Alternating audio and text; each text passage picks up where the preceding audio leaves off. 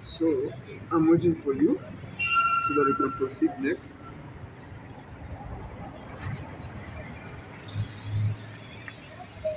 You finish your third layer, yeah? So you have the eraser. Where's the eraser?